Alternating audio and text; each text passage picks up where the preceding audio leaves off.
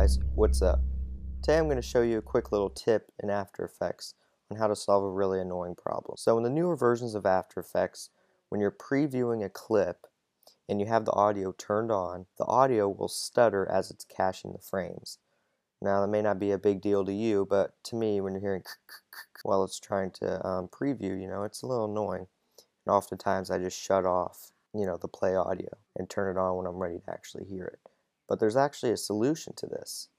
So if we go up to Preferences, Previews, we can turn on Mute Audio when preview is not real time. So it'll wait to play audio until all the frames are cached and it'll play back normally. So you want to turn that on and hit OK. And actually that's really all there is to it. Then you can turn on audio, start previewing your clip, you know, and it'll play like normal and it'll wait till it's at real time before it starts playing audio. So it's pretty cool. Well guys, I hope you enjoyed this tutorial. There's going to be a lot more coming very soon, so um, be looking for that. Alright guys, we'll see you next time.